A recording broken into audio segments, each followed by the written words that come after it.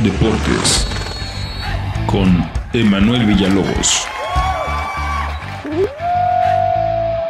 Comentarles que la selección mexicana de fútbol rescató el empate en su visita al Rommel Fernández ante el conjunto de Panamá. Este duelo fue para decidir el primer lugar del grupo de la CONCACAF, en el cual nuestro país se encuentra en primer lugar con siete puntos, mientras que Panamá se quedó en la quinta posición con cinco unidades. Después de un arranque poco productivo de los Pumas de la UNAM, los directivos determinaron designar a Miguel Mejía Barón como vicepresidente deportivo de los universitarios. Mejía Barón regresa con los auriazules después de 30 años de ser los campeones. Sin embargo, durante su presentación ante los medios de comunicación, detalló que no le gusta prometer resultados de forma inmediata. Enhorabuena para todos los aficionados de los Pumas de la UNAM. Y por, y por último, eh, los organizadores de una función de box que se realizará en la Feria de San Marcos allá en Aguascalientes anunciaron que un porcentaje de la taquilla será donado a la familia de la pugilista Janet Zacarías, quien falleciera eh, hace una semana tras un combate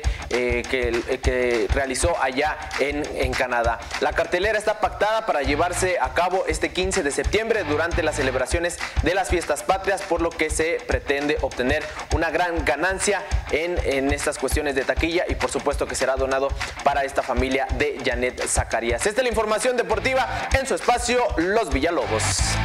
Deportes con Emanuel Villalobos.